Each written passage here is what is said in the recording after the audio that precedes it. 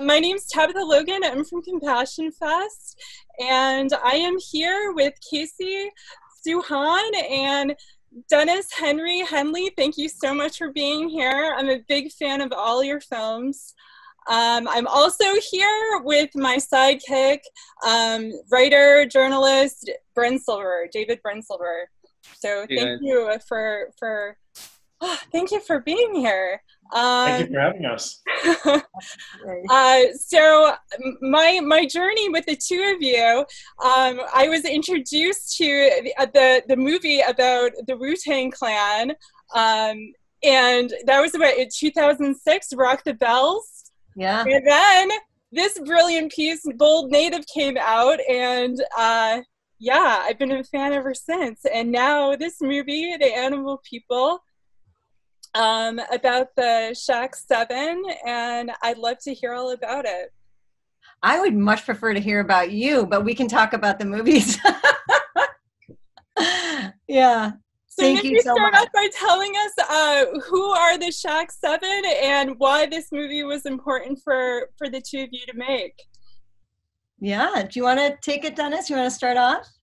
Sure. So the SHAC Seven um, were a group of actually six activists, and then the corporation, which was SHAC USA, stood for Stop Huntingdon Animal Cruelty USA. And they were organized to protest a research facility called Huntingdon Life Sciences. And they organized this entire like protest globally, basically, to try to shut down this one lab. And it was really effective because instead of like activists putting their energies into a sort of broad idea like let's stop animal testing um, they put it uh, onto one company. And they were really intelligent in the sense that they took advantage of capitalism to say that most decisions that are made in capitalism have to do with the bottom line, has to do with dollars and cents. And so if we can make this company unprofitable to deal with, then people will stop dealing with it. And so instead of just appealing to people's ethics and morality, which they did as well, they also said, if you deal with Huntingdon Life Sciences as a company, you're going to have to deal with protest. And it's going to be annoying and it's probably going to cost your company money because you'll want to hire security guards and all this other stuff. And so basically, all these companies that dealt with Huntingdon ended up racking up tons of bills and it became ultimately not worth it. And they almost put Huntingdon out of business multiple times until the government stepped in and saved Huntingdon because this was a very effective method that obviously they didn't want other activist groups to pick up on, um, which is pick one target, put all your energy on it, and try to make them unprofitable. You know, company, you know, activists have done this through boycotts. Um, but when the company that you're protesting isn't selling like a consumer good, you can't really boycott it. But what you can do is you can, you know, go after the financial pillars of support, which is what they did. So that's a very long answer, but just to say, uh, that's what the SHAC case was about. And ultimately, the government not only tried to save Huntingdon, but tried to put these activists who organized it uh, in jail as terrorists. Um, and they succeeded in doing that under the Animal Enterprise Terrorism Act. And um, the movie is about their story. And we really think it's not just about this particular story, but about a general kind of blueprint that activists could use in any kind of campaign against a huge multinational corporate target, which um, I think is a blueprint that any activist group right now fighting for a number of things could could pick up. So we hope that people see it for that reason. And one of the things that um, one of the gentlemen in the film, Jake Conroy, always says that I find really inspiring when he talks about the activism that they did. You know, they were young when they were doing this activism. They weren't um, super geniuses. They were all very smart, but you know what I mean. They, they, there was nothing superhuman about them. They were just smart, focused, committed individuals who were, you know, doing what anybody could do. Right using the internet to do research, um, thinking strategically about uh, what is holding a company together, and then saying, okay, well, company needs insurance. A company, let's go after the people that are insuring them. Let's make that unprofitable. A company needs a bank. To keep it in business you know to, to to hold its debt. Let's go after those banks. Let's make that unprofitable for them. So they were there's anybody can do this kind of activism. It's very approachable um, and it's it's a pretty amazing story. You've also i mean but part of the story is also um, sort of an introduction for viewers of the animal enterprise terrorism act mm-hmm. which is and um, actually the three of us talked a thousand years ago. Um, yeah, I remember about Bold Native, and like I think Casey, you you used the phrase designer law that um, that the government sort of in partnership with corporate interests came up with a way to uh, to label people terrorists um, and i mean really in in a big picture, this the movie this movie is sort of a a story about free freedom, right? And mm-hmm. like who gets to decide who has it and who controls it and all these things. Um, and one of the things that struck me is um, uh, the sort of the complaints of the people who were uh, whose homes were being sort of uh, protested you know, who are being protested in their homes, complaining about what have you, noise, uh, megaphones, all this stuff, and and in, in sort of concert with using this word terrorist, totally kind of using this linguistic wordplay and and victimhood to completely dismiss the victims, right? The animals who who are in these labs and i'm curious what you thought what your thoughts are about how do we sort of how do we sort of wake wake people up to uh, these these methods that are that are used um, by corporate America, well, it you know globally, uh, in in sort of partnership with the government to make sure that that um, those who are actually the victims are not sort of part of the conversation, right? This becomes about, oh, somebody threw a brick at my house or somebody, right? This is all about me, me, me, me, me, me. It, uh, and we're in this period of time when everything is about me, me, me, me, me, right? So, how do we, if we were to fast forward this, what are we looking at? Well, I think that, like, um, I'll just jump in quickly. I would say, like, I think it has to do with the way the way that we sort of move people's perspective is through continuing to talk about it. And ultimately people reach a tipping point. I mean, we saw finally way too late obviously a tipping point happen around uh, policing and racial injustice this year. But those things have been on the protest block for hundreds of years, you know, like people have been talking about and fighting those issues and you know it took all the the sort of growth the evolution of all that fight for years and years to lead to this moment where a majority of people heard and saw you know? And i think like it's the same with any social justice issue that basically you're just looking to continue to educate and fight for something. And i think people more and more now are are waking up to the tricks that the government and corporations use that you talked about, David, you know, to try to like shift the attention and that kind of stuff. And I think they see it happening. And so, um, yeah, I think I mean, it's just a matter we, of time. Today in the New York Times, there's an article about people po- uh, protesting outside of the new Postmaster General's office, uh, not office, his house. Yeah, I mean that that was happening in Los Angeles this year to protest the budget for the police um, in front of the mayor's house you know and it, right. I think there's a people are much more understanding of why we need to bring these issues to people's front doorsteps. And um, you know they're, they're still calling them terrorists. Trump calls all these people terrorists still. That's going to happen. You can't yeah. can't help it. It is I what think, it is. You know i think this the, the the home protest to me is such an effective tactic because like you mentioned david i think that we tend to um, separate like what we do in our our work life. We make decisions that have real repercussions in the lives of other humans and animals and the environment.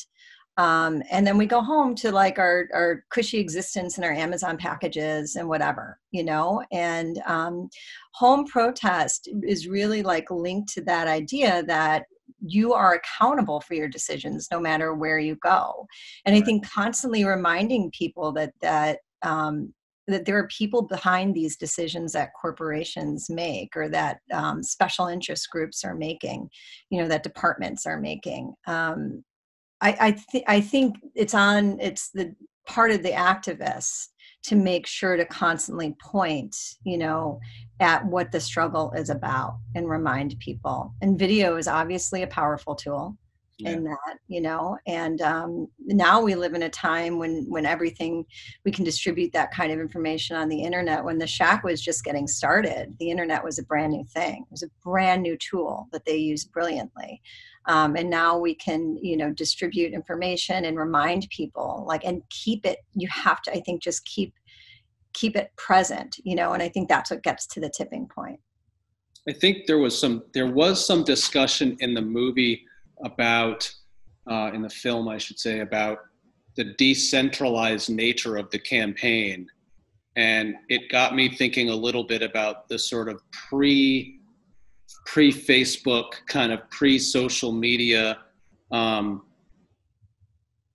world and whether like what are your thoughts about how the the the campaign website became sort of a message board mm-hmm. for activists everywhere and there was some some some lament about that um, on behalf of some of the um, the SHAC Seven, right?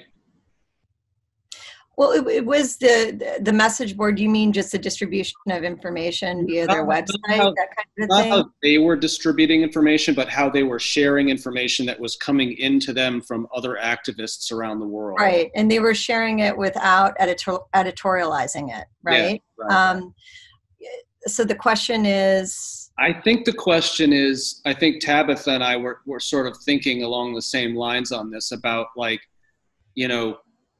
Uh, well, there. So I can't remember um, who in the film made this observation, but they they sort of reflected back on this and thought about like, you know, could we have tweaked that better?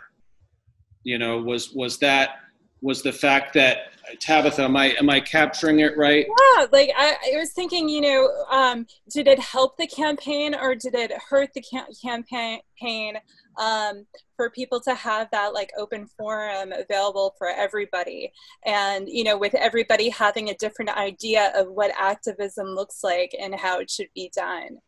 I mean, I guess I would say, what do you think? Tabitha? you think it helped the campaign or hurt the campaign?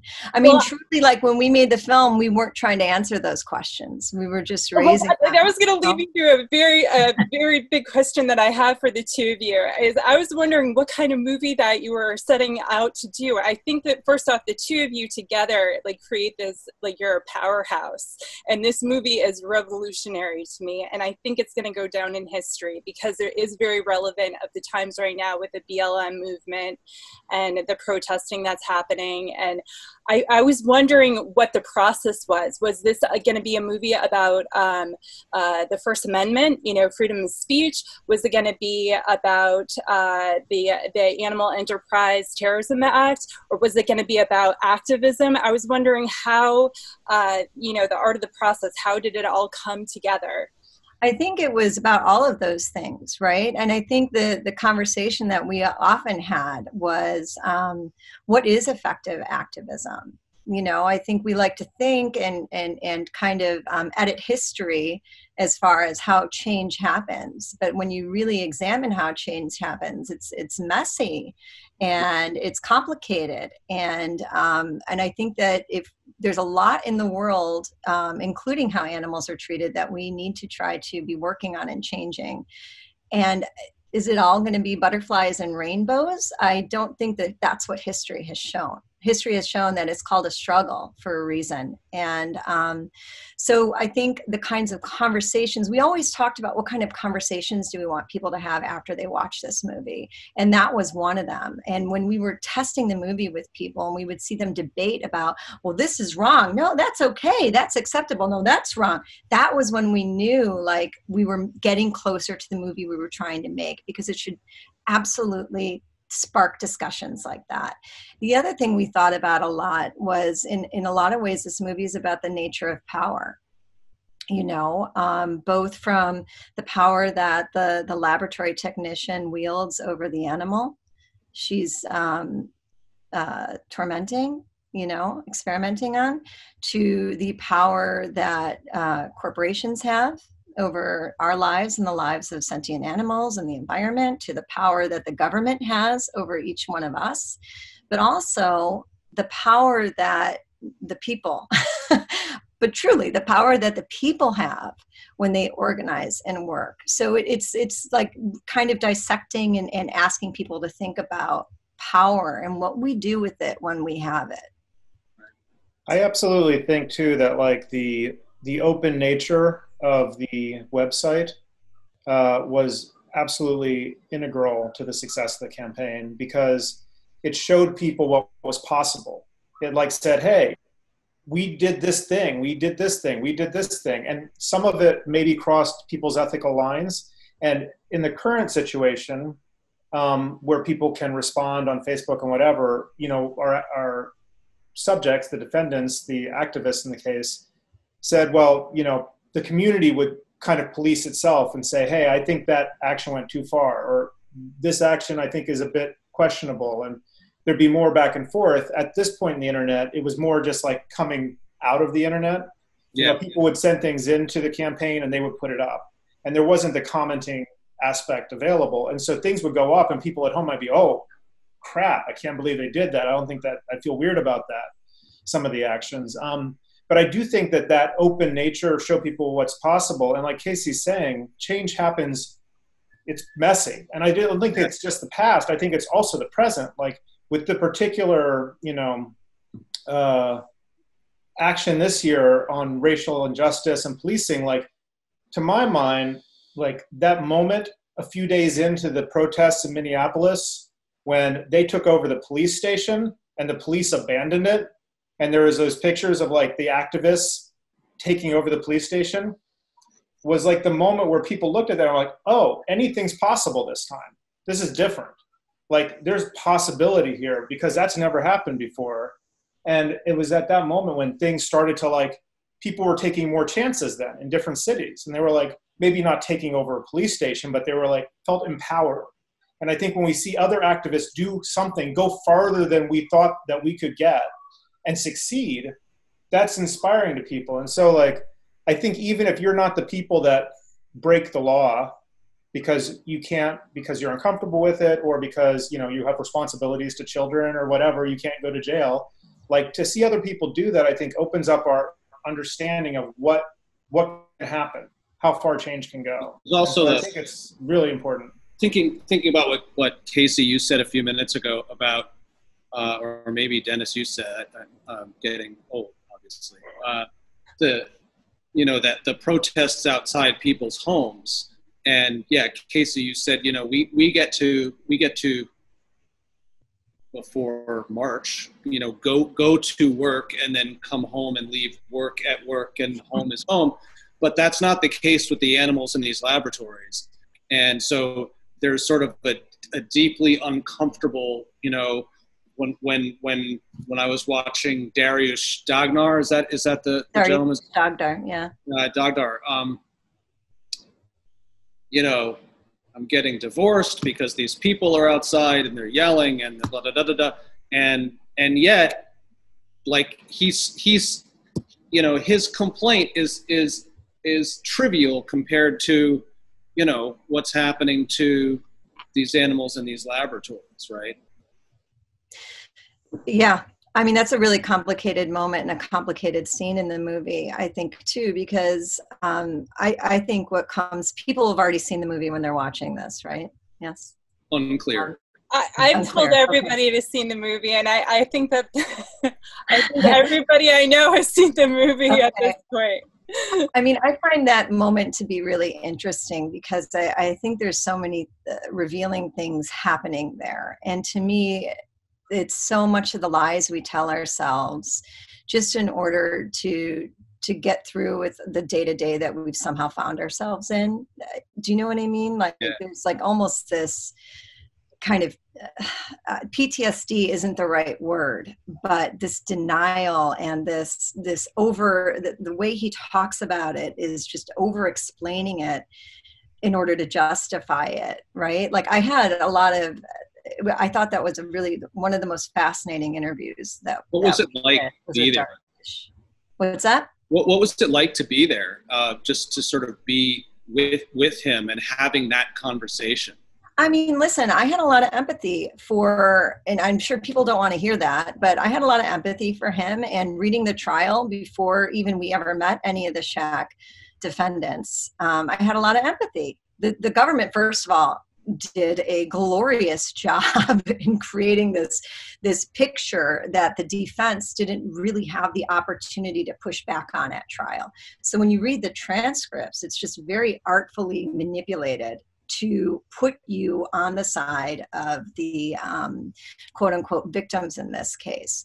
But I think you you know when you think about it, a lot of these folks probably never thought of like a lot of people don't think past. Um, that I'm not saying they don't think deep, but they haven't been forced to really examine these kinds of issues. I mean, a lot of these peoples were bankers you know what i mean?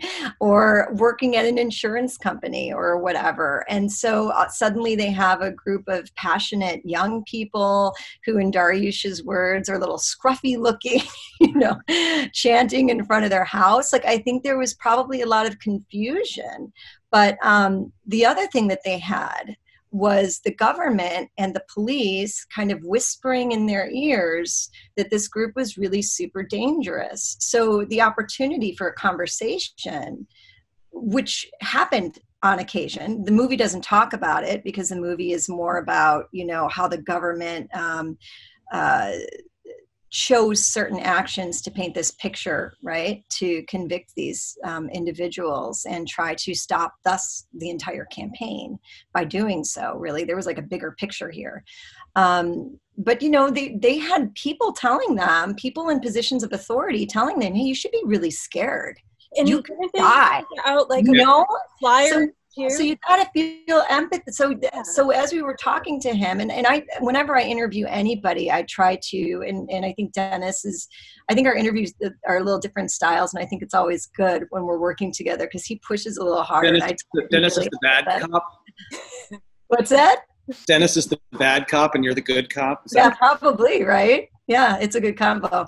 Um, so it was it was fascinating and complex, and um, I just thought there was what was going on with him was so layered and says a lot about how humans think and how we get to the point where we do things that when you look at it when we, those of you who are watching this movie can step back outside of it and see it from a distance right? And go like that what he's saying doesn't make any sense. He's just talking in circles. But that's what we do in order to buy the things we want to buy and not think about who's it's who it's affecting. Do you know what I mean? It's just like it's such a human moment, I think, in the film. Yeah, yeah. I think there was a there was a moment for me. I think it was Dar- uh, Darius that was talking talking about um, how there were these barricades during the protest and how there was a, like a freedom of speech section. And he's like, shouldn't the whole world be a freedom of speech zone? That really really touched me. I'm paraphrasing here, but. and to your point, Tabitha, like we always thought about the film as a First Amendment film. Yeah. Well. Like thinking about how how important that amendment is and those rights are in order to push for change in this country. And you know seeing that get whittled away i think was really disturbing. Um, so that was something that we definitely like tried to tell the story of uh, particularly with you know um, lauren was a great voice for talking about the the, the legal you know aspect of what they were doing and why they should have been protected by the first amendment. And, and will potter's obviously been writing about this stuff you know all along with the animal enterprise terrorism act and, and all that. Um, it's, it's great to see him. Yeah. He came in basically you know at the end to sort of tie a lot of things together for us. I mean casey and i to answer your earlier question we started on this right after we made Bold Native, which is a film about people who actually do break the law for uh, animal rights. Um, and we toured that movie around the country, and we wanted to have activists speak at the screenings. And this was around the time that some of the SHAC defendants were just getting out of jail. And so we were meeting them as they were, you know, we would meet them, they would come and speak at the screenings. And um, we got the opportunity to get a bunch of footage that was shot by you know two of the producers on this movie during the campaign. And so we then took over the project and interviewed all the defendants as they got out and worked on the film for 10 years basically from the time we finished bold native to this doing other things of course. But you know i think part of what made it made us keep at it was that if we would get bored with one section of it there was always something else it was about. Like if we got tired of thinking about the government repression aspect, there'd be the the animal rights aspect, or then there'd be the First Amendment aspect. There's it does cover so many different topics that it was something that could always like spark our interest again and, and get it finished. Right. and you know, I think if, if you don't know anything about the SHAC campaign, um, you watch this film and you would think, oh, it's all home protests and um, spray painting and petty vandalism or whatever. But it wasn't just that right? There was we see some of the marching um, that they did in cities um, and protesting like outside actual corporations but there was also letter writing campaigns that like grandmas in florida took on upon themselves because they were you know moved to action when they saw that um, that fo- footage that was just so um, inciting you know? Yeah. so you have to think about like also like you know people that work in the government always say like it makes a difference when you call because it really does. If you're sitting in one office and you know you're fielding like hundreds of calls it feels like the whole country is coming down on you. And i think for these companies if there was somebody when they went home if there was seven kids out there protesting at their home they came in the next day and there was 30 letters from grandmas in florida and then somebody's calling their phone like all those things happening at the same time makes it feel overwhelming. And i think activists often don't realize that the power of like targeting at a thing from a lot of different angles and how that you know not all those not all those activities are like aggressive or in your face. You know the letters think, can be very yeah i think that's a really important i think that's a really important point because there there is a lot of discussion about what's effective and uh, you know and the other on, on another sort of side of that question is what is what does one individual feel comfortable doing versus another individual right? Like what is authentic to me might, might be might not be quite as authentic for you all these kinds of things. And i think it's really important to remember that that as you're saying dennis that this it's a cumulative uh, it's a cumulative approach that that was taken here and probably is is what's what's needed right? Is letter writing is calling is marching is protesting but right? having like a having like one target makes that work like yeah. it, it's if it's concentrated effort. like you know, let's write letters to, you know, people who abuse animals. it's like there's more people who abuse animals than people who want to write letters to them. So everybody will get less than one letter, you know. but if you like put everybody's attention on one thing, and the thing is, it's like if you beat one company that way, that has a domino effect. And I think that's what the government was so afraid of. They could not let SHAC beat HLS. It could not happen because if that happened, it's anything is possible. It's, it's the kids coming out of the Minneapolis Police Department with the flag saying, "We own this place now." It's you can't let people see what's possible. And that's where, like, when the law was sort of enacted, the Animal Enterprise Terrorism Act, on the heels of sort of the Patriot Act. This was when the government was sort of weaponizing fear as a as a right as a, a as a tool to remember. I mean, in, the film too, right? Uh, you're either with us or you're with the terrorists, right? Absolutely. So you've got to choose. It's it's by it's a you know. Um, And you know, um, in the film, Inhofe, who is still, I don't understand how Still he's in office. for so long. It's insane. Um, but. Inhofe says if we don't, what will happen if the activists start to go after the timber industry or the um, other controversial industries, right? The gas and oil industry. Like, what will happen if we let this stand? We have to. We have to put a stop to this. We have to make a an example here. And you know, you see it right now in Milwaukee. I've been talking to this incredible activist in the BLM movement who um, was uh, indicted in 2018 with under very similar kinds of accusations, you know, and still hasn't seen any of the discovery against him. But the same kind of like terrorist incitement, you know, the same things. It's, it's not just happening in the animal rights movement, Right, right. right? Like these these were tactics that were absolutely honed then. But to talk to somebody and hear it, the playbook playing out in his life you know and how that's affecting how the community sees him and what he's able and not the community that he works with but the outsiders right how they view him and how um, that affects his abi- ability to raise money to do the on, on the ground work that he does in his community is just it's it's sometimes it's- incredibly effective federal um, tactics It's There's also a- the community, amazing- is, right? That you're, it's also like the community of activists because there is a chilling effect.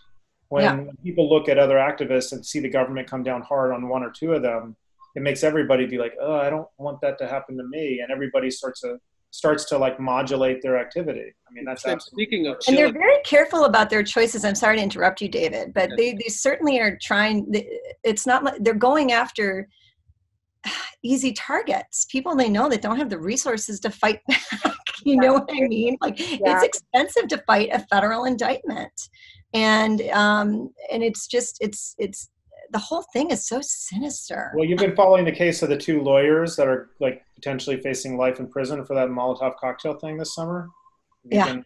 i haven't really been following it No, I, I but I know of it it's crazy. It's basically, I mean, these these two lawyers are, I mean, they're lawyers. They've gone, they're very very smart. They're very educated.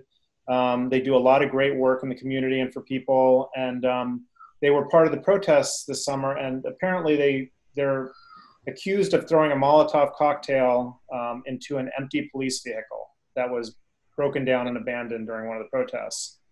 Um, obviously, not putting anybody at risk. A little bit of property destruction, and they're both facing, I think, potentially life in prison right now for that. Hmm.